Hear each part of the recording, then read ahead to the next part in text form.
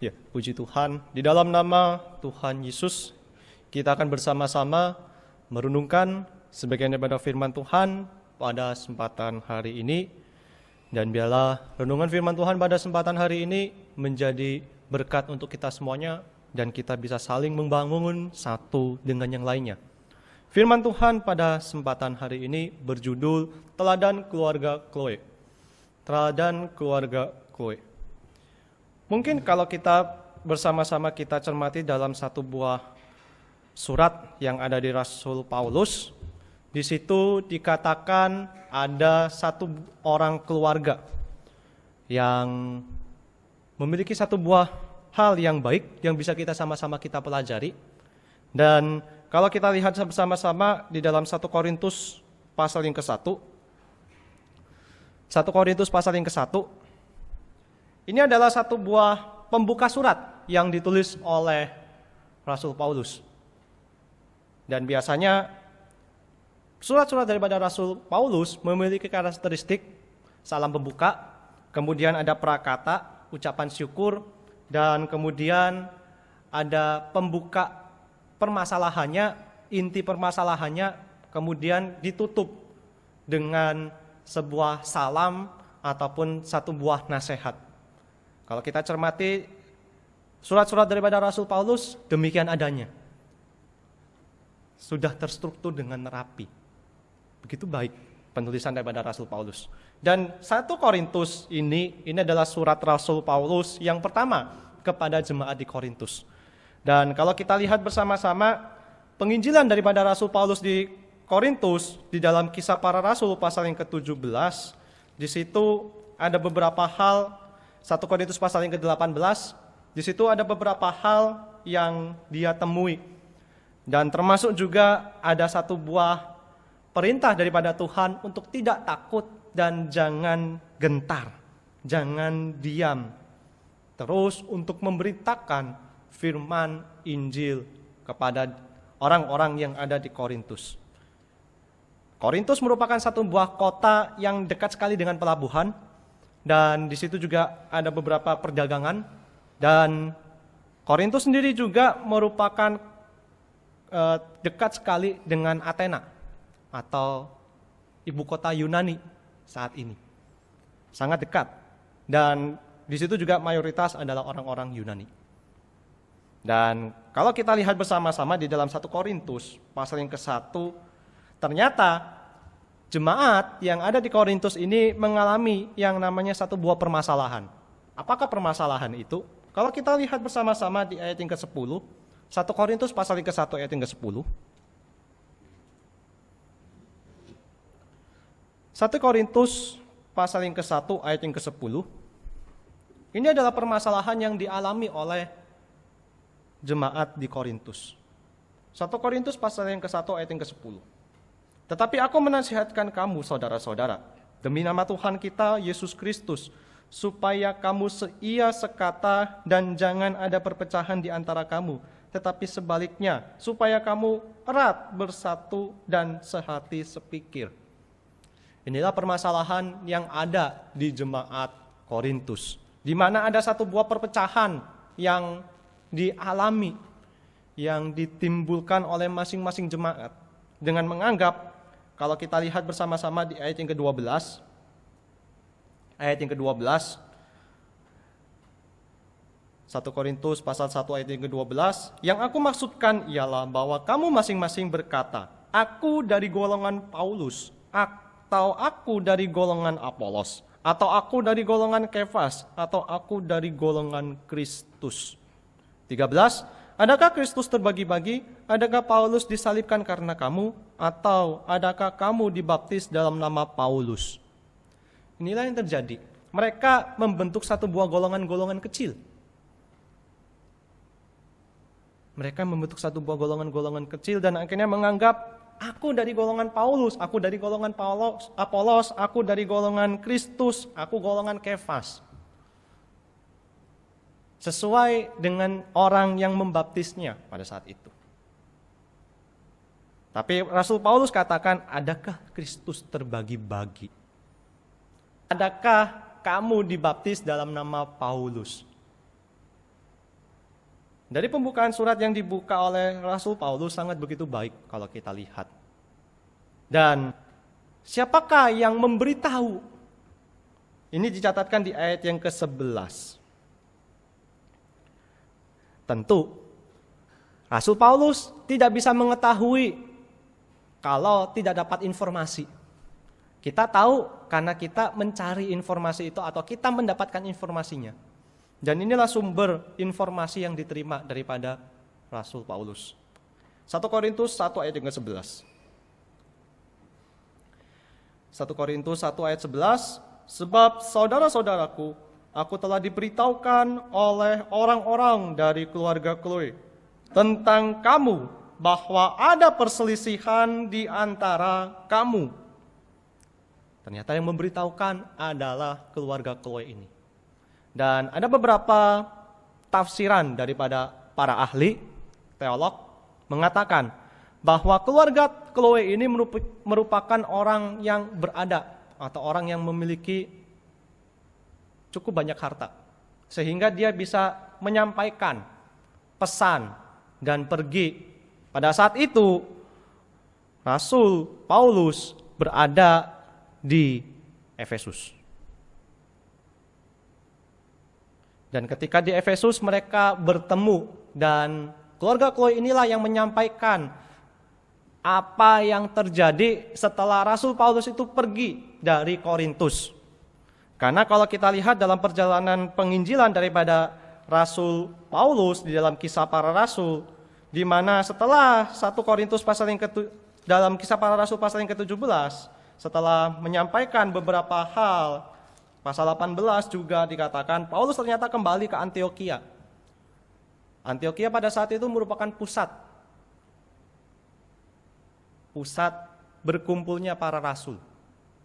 Dan ketika itu juga akhirnya setelah beberapa hari beberapa hari di Antioquia akhirnya pergi ke Efesus. Dan ketika dalam kota Efesus itulah mereka bertemu dan menyampaikan dan surat daripada satu Korintus ini dituliskan di Efesus pada saat penginjilan Rasul Paulus yang ketiga ketika berada di Efesus. Dan keluarga Chloe inilah yang menyampaikan informasi mengenai perpecahan-perpecahan yang ada di kota Korintus. Apa yang bisa kita sama-sama kita pelajari daripada keluarga ini?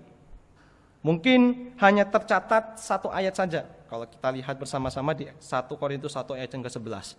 Tetapi sebenarnya ada satu buah hal yang baik yang bisa kita sama-sama kita pelajari, yang bisa membangun iman kerohanian kita dan bagaimana kita hidup bersama-sama di dalam gereja. Kita lihat kembali, kita baca kembali 1 Korintus 1 ayat yang ke-11. 1 Korintus 1 ayat yang ke-11. Sebab saudara-saudaraku, aku telah diberitahukan oleh orang-orang dari keluarga Chloe tentang kamu bahwa ada perselisihan di antara kamu. Ada satu buah hal yang menarik kalau kita lihat bersama-sama. Ketika keluarga Chloe ini mengetahui karena melihat dan merasakan apa yang ada di dalam gereja dan Tentunya Chloe ini juga jemaat. Dan ketika dilihat ada perpecahan yang terjadi, dia menyampaikannya kepada Rasul Paulus. Ini merupakan satu buah bentuk kepedulian yang dimiliki oleh keluarga Chloe ini mengenai gereja. Sehingga ketika dia lihat ada suatu permasalahan, dia sampaikan kepada Rasul Paulus. Kalau keluarga Chloe tidak peduli, cuek-cuek saja, bukan urusan saya. Mungkin dia tidak bertemu kepada Rasul Paulus. Dan tentunya yang terjadi jemaat atau gereja yang ada di Korintus ini bisa saja dikatakan hancur. Sudah benar-benar menyimpang tidak ada yang mengarahkannya kembali kepada jalur yang tepat. Karena kalau kita lihat bersama-sama perpecahan yang dialami oleh jemaat di Korintus ini bukan suatu hal yang kecil. Perpecahan ini dialami karena terbentuknya kelompok-kelompok kecil. Dan ketika ada kelompok-kelompok kecil ini pasti memiliki pemikirannya sendiri-sendiri, pasti memiliki cara pandangnya sendiri-sendiri yang sama satu kelompok itu. Dan ketika ada sesuatu hal yang tidak sesuai menurut pandangan kelompok satu dengan kelompok yang kedua, yang terjadi adalah percekcokan. Bahkan bisa saja terjadi suatu hal yang lebih menakutkan lagi. Mereka saling membinasakan, baik secara fisik maupun secara rohani.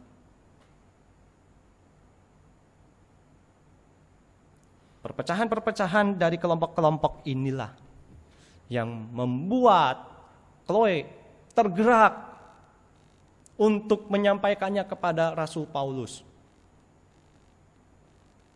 Ada satu permasalahan di gereja bentuk kepedulian daripada keluarga Chloe ini menjadi satu hal yang baik yang bisa kita sama-sama kita pelajari dan bisa kita terapkan dalam kehidupan kita di dalam bergereja. Walaupun dalam kondisi kita saat ini merupakan kondisi yang tidak bisa berkumpul bersama-sama. Tetapi apakah rasa kepedulian kita terhadap sesama jemaat itu terhalangi oleh karena pandemi ini? Ataukah karena pandemi ini kita akhirnya tidak bisa tidak bisa peduli satu dengan yang lainnya? Kita cuek-cuek saja. Kita anggap karena saya memiliki permasalahan sendiri, saya tidak bisa membantu Anda. Saya tidak mau memperdulikan itu. Saya fokus kepada permasalahan saya terlebih dahulu. Apakah demikian? Kalau hal itu terus dilanjutkan, lebih mementingkan diri kita sendiri. Mungkin pujian tadi yang kita bersama-sama nyanyikan, tentunya kita tidak memiliki kasih itu. Di sisi lain, kita memberontak kepada tubuh Karena kita semuanya yang telah dibaptis, yang telah ditebus dengan darah Tuhan, merupakan satu tubuh. Kita adalah anggota-anggotanya. Sama seperti ketika kita memiliki kedua tangan, tetapi tidak bisa bekerja sama. Yang satu ingin ke sini, yang satu ingin ke sana. Bisa saja demikian. Karena apa? Karena tidak ada kesatuan. Ingin berjalan sendiri, kita tidak mungkin kaki kanan kita melangkah ke depan, kaki kan, kiri kita melangkah ke belakang. Tidak bisa sejalan. Tetapi rasa kepedulian yang ada di dalam gereja tentu hendaknya kita lakukan. Meskipun hal itu merupakan hal yang kecil. Dan baru-baru ini saya menemukan satu buah teladan yang baik ada satu orang jemaat di satu buah cabang gereja. Bisa dikatakan jemaat ini adalah domba yang hilang awalnya. Sudah percaya kepada Tuhan, tetapi dia melalang buana. Tetapi ada hal yang menarik ketika saya temukan dari sebuah status WhatsApp, ada yang memasangnya. Karena gereja saat ini tidak ada ibadah tatap muka, tentunya kosong gereja tersebut. Yang berpenghuni adalah yang mungkin pendeta yang bertugas di setempat atau mungkin ada beberapa orang yang tinggal di gereja. Tapi ada satu hal yang menarik yang dilakukan oleh jemaat ini. Karena dia melihat gereja banyak sekali rumput, dia tergerak untuk membersihkannya. Padahal dia sudah lama tidak datang ke gereja. Entah alasannya apa, saya juga kurang begitu paham. Tetapi yang dia lakukan adalah satu bentuk kepedulian terhadap gereja secara bangunan fisik. Dia lakukan itu. Cambuti rumput yang ada untuk terlihat gereja masih ada yang membersihkan atau yang mengurusnya, tidak dibiarkan begitu saja. Ini adalah satu bentuk kepedulian terhadap gereja. Apalagi yang bisa kita lakukan? Kita saling perhatian satu dengan yang lainnya. Itu adalah satu bentuk kepedulian yang ada. Misalnya, ada seorang jemaat yang sakit, atau ada seorang jemaat yang mengalami permasalahan, kita sampaikan kepada tim besuk. Atau mungkin kita sendiri pada saat ini tahu dia sedang mengalami sakit, kita chat WA Mungkin kita bisa video call dengan orang tersebut, menanyakan kabarnya. Itu adalah satu bentuk kepedulian kita. Dan kita juga memperhatikan keadaan gereja itu. Karena kita merupakan satu tubuh, satu kesatuan. Tentunya ketika kita melihat salah seorang saudara seiman kita yang mengalami sedih, sakit, berbeban berat, kita pun turut merasakannya. Sama seperti yang dikatakan dalam 1 Korintus pasal yang ke-12. Kita lihat bersama-sama. 1 Korintus pasal yang ke-12. Ayat yang ke-26. 1 Korintus 12 ayat yang ke-26. 1 Korintus pasal yang ke-12 ayat yang ke-26. Karena itu, jika satu anggota menderita, semua anggota turut menderita. Jika satu anggota dihormati, semua anggota turut bersuka cita. Inilah satu rasa, satu tubuh sama rasa. Sama seperti diibaratkan ketika kita mungkin tergores pisau sedikit, mungkin rasa nyut-nyutannya itu bisa sampai ke kepala. Atau mungkin ketika kita tersayat sedikit, gigi kita merasakan sedikit ngilu. Atau kita merasakan sakit gigi yang ada kepala kita juga ikut sakit. Inilah satu tubuh sama rasa. Dan ini juga dimiliki oleh salah seorang pembesar pada saat itu. Kalau kita lihat bersama-sama di dalam kitab Nehemia pasal yang ke-1. Nehemia pasal yang ke-1.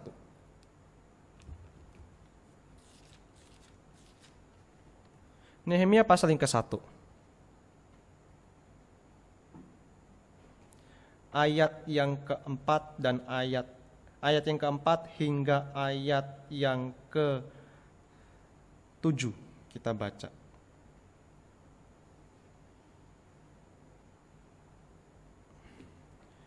Nehemia pasal yang ke-1 ayat yang keempat hingga ayat yang ketujuh. Ketika aku dengar berita ini, duduklah aku menangis dan berkabung selama beberapa hari. Aku berpuasa dan berdoa ke hadirat Allah semesta langit. Kataku, Ya Tuhan Allah semesta langit, Allah yang maha besar dan dahsyat, yang berpegang pada perjanjian dan kasih setianya terhadap orang yang kasih kepadanya, dan tetap mengikuti perintah-perintahnya. Berilah telingamu dan bukalah matamu dan dengarkanlah doa hambamu yang sekarang kupanjatkan ke hadiratmu siang dan malam bagi orang Israel.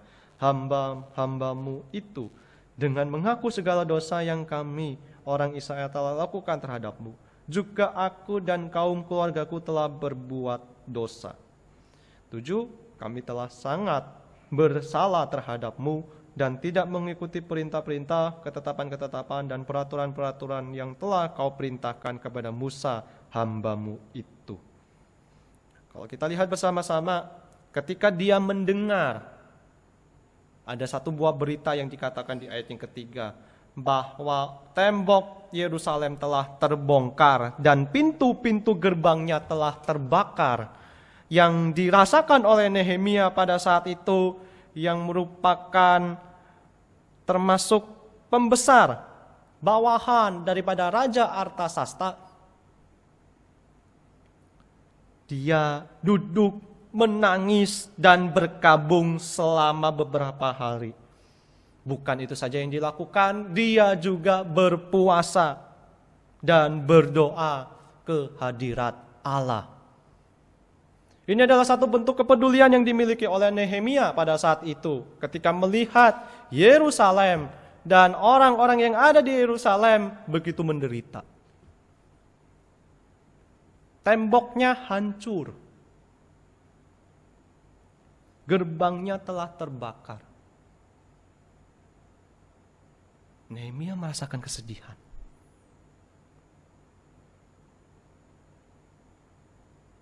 Apakah ketika kita melihat saudara seiman kita, apakah kita memperhatikannya dan kita juga mempedulikan turut rasa atas apa yang dialami oleh saudara seiman kita?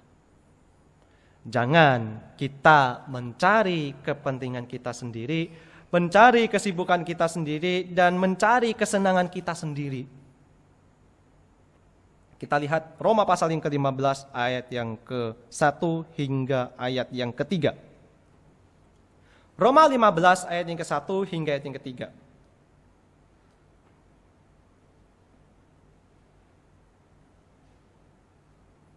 Roma 15 ayat yang ke-1 hingga ayat yang ketiga. Kita yang kuat wajib menanggung kelemahan orang yang tidak kuat dan jangan kita mencari kesenangan kita sendiri. Setiap orang di antara kita harus mencari kesenangan sesama kita demi kebaikannya untuk membangunnya. Karena Kristus juga tidak mencari kesenangannya sendiri. Tetapi seperti ada tertulis, kata-kata cercaan mereka yang mencerca engkau telah mengenai aku. Seperti yang dikatakan oleh Rasul Paulus kepada jemaat di Roma. Ketika ada seseorang yang mengalami suatu hal permasalahan, mengalami kelemahan, kita yang kuat wajib untuk menanggungnya. Artinya, itu adalah satu bentuk kepedulian kita dengan saudara seiman kita. Kita saling menguatkan, saling membangun. Dan Rasul Paulus katakan setiap orang di antara kita hendaknya jangan mencari kesenangan kita sendiri, tetapi mencari kesenangan bersama.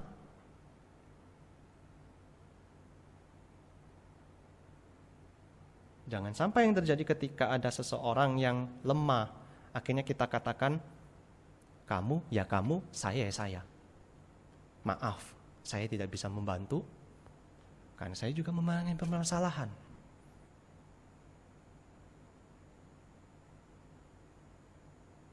Atau mungkin kita akan katakan, saya sibuk, maaf saya tidak bisa membantumu. Maaf saya demikian, maaf saya demikian. Itu masih sopan ketika kita berkatakan demikian. Tapi jangan kita lakukan. Ada mungkin yang lebih parah. Melihat diamkan. Biarkan saja. Apakah kita sebagai orang-orang yang telah didebus dengan darah Tuhan, kita tidak merasakan penderitaan yang dialaminya? Kalau tidak ada, mari kita sama-sama kita perlu refleksikan dalam diri kita apakah kita masih satu tubuh? Kalau kita tidak bisa merasakan, turut merasakan beban yang dialami oleh saudara seiman kita, patut kita pertanyakan, apakah kita masih satu tubuh? Kalau kita masih satu tubuh, hendaknya kita masih merasakannya. Dan kita juga mau membantunya. Walaupun yang kita lakukan kepada seseorang tersebut kecil adanya.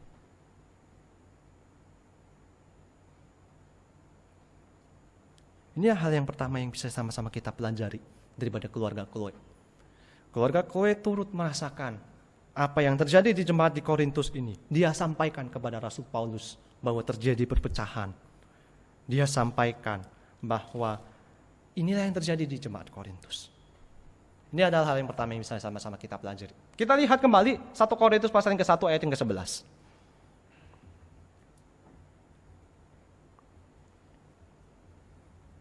1 Korintus pasal yang ke-1 ayat yang ke-11. Kita baca kembali. 1 Korintus pasal yang ke-1 ayat yang ke-11. Sebab saudara-saudaraku, aku telah diberitahukan oleh orang-orang dari keluarga Chloe tentang kamu. Bahwa ada perselisihan di antara kamu. Kalau kita lihat bersama-sama, kita cermati kembali, ketika ada sesuatu hal yang terjadi di dalam gereja Korintus, yaitu perpecahan yang ada, Rasul Paulus menerima kabar itu dari keluarga Chloe. Dan keluarga Chloe yang menyampaikannya. Siapakah Rasul Paulus? Rasul Paulus adalah yang memberitakan awal yang memberitakan Injil yang ada di sana. Sehingga banyak orang yang ada di Korintus menjadi percaya pada saat itu. Walaupun kalau kita lihat bersama-sama di dalam satu dalam kisah para rasul pasal yang ke-18, banyak sekali hal-hal yang terjadi di sana pada saat pemberitaan Rasul Paulus. Ada sebuah kemungkinan keluarga Chloe juga menjadi percaya karena pemberitaan Rasul Paulus. Dan dimungkinkan juga Chloe adalah bangsa lain, bukan Yahudi. Dan ketika melihat satu buah permasalahan itu, yang dia lakukan adalah suatu hal yang baik adanya yang bisa kita sama-sama kita teladani. Apa itu? Yaitu memberitahukan segala permasalahan itu kepada orang yang tepat.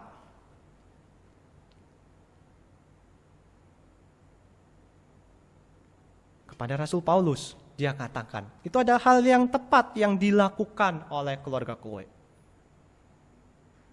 Yang menjadi satu hal yang bisa kita sama-sama kita juga bisa lakukan. Ketika terjadi satu buah permasalahan di dalam gereja, kita sampaikan kepada yang paling utama mungkin pengurus.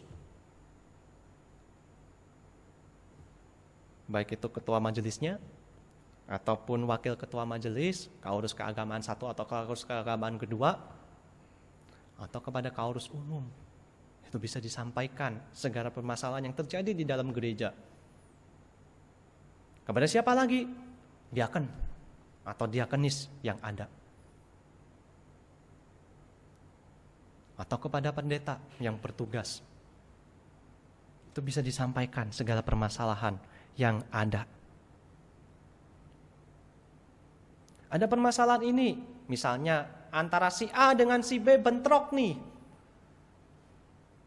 Adiakan, ada yang bentrok nih.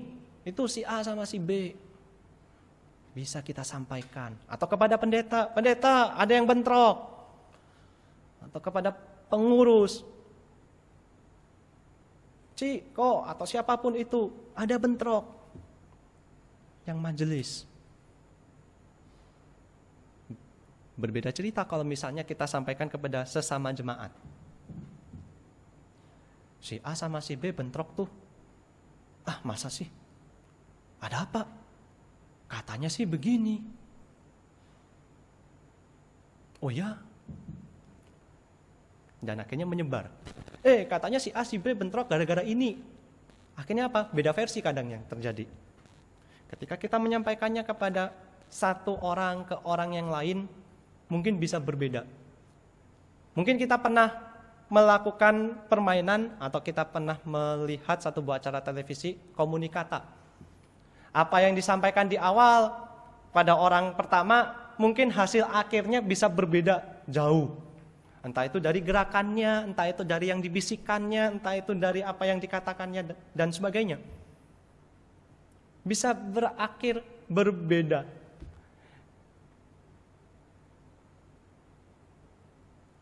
Apa yang terjadi? Miskom. Miskomunikasi. Atau mungkin malah ditambahi micin yang ada. Sehingga makin sedap untuk digosipkan. Kalau kita sampaikan kepada sesama jemaat. Berbeda cerita kalau kita beritakan, kita sampaikan permasalahan kita itu kepada orang yang tepat. Pendeta, diaken, diakenis, pengurus itu merupakan orang-orang yang tepat. Kita sampaikan. Dan jangan sampai kita ketika kita mengalami satu buah permasalahan, kita beritakan atau kita sampaikan kepada orang-orang yang belum jemaat.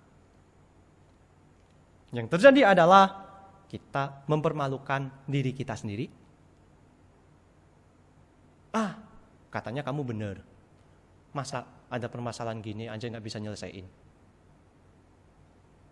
Yang kedua yang dipermalukan adalah nama Tuhan. Katanya gereja benar. Kok ada permasalahan seperti itu sih? Besar lagi.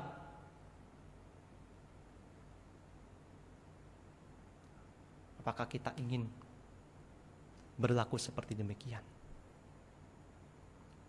Atau mungkinnya juga dilakukan oleh jemaat yang ada di Korintus. Kalau kita lihat bersama-sama dalam 1 Korintus pasal yang ke-6. 1 Korintus pasal yang ke-6.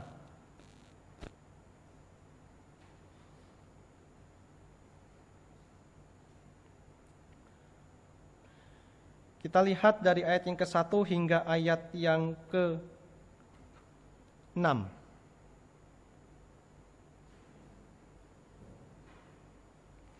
Ayat yang ke-1 hingga ayat yang ke-6 dari 1 Korintus pasal yang ke-6. 1 Korintus pasal yang ke-6 ayat yang ke-1 hingga ayat yang ke-6. Apakah ada seorang di antara kamu yang jika berselisih dengan orang lain berani mencari keadilan pada orang-orang yang tidak benar dan bukan pada orang-orang kudus? Atau tidak tahukah kamu bahwa orang-orang kudus akan menghakimi dunia dan jika penghakiman dunia berada dalam tangan kamu, tidakkah kamu sanggup untuk mengurus perkara-perkara yang tidak berarti? Tidak tahukah kamu bahwa kita akan menghakimi malaikat-malaikat? Jadi apalagi perkara-perkara yang biasa dalam hidup kita sehari-hari. Sekalipun demikian, jika kamu harus mengurus perkara-perkara biasa, kamu menyerahkan urusan itu kepada mereka yang tidak berarti dalam jemaat. Hal ini kukatakan untuk memalukan kamu. Tidak adakah seorang di antara kamu yang berhikmat yang dapat mengurus perkara-perkara dari saudara-saudaranya? Adakah saudara yang satu mencari keadilan terhadap saudara yang lain dan justru pada orang-orang yang tidak percaya? Inilah yang dilakukan oleh jemaat di Korintus pada saat itu. Ada permasalahan, dia tidak sampaikan kepada orang yang tepat. Mereka akhirnya menyampaikannya kepada atau mencari keadilan itu di luar daripada gereja. Dan Paulus menegur, apakah di antara saudara-saudara itu tidak dapat mengurus perkara-perkaranya. Dan tidak ada orang-orang yang berhikmat untuk menyelesaikan permasalahan yang ada. Kalau misalnya di dalam gereja ada permasalahan dan akhirnya dibawa keluar daripada gereja. Menjadi satu pertanyaan juga bagi gereja. Terutama bagi para pekerja kudus. Apakah permasalahan ini tidak bisa diselesaikan di dalam gereja saja? Kenapa mesti harus dibawa keluar? Apakah tidak ada orang-orang berhikmat? Ini yang Rasul Paulus katakan. Kalau misalnya terjadi demikian, gereja juga perlu koreksi diri. Apakah di dalam gereja juga tidak ada orang-orang yang berhikmat yang bisa menyelesaikan permasalahan itu?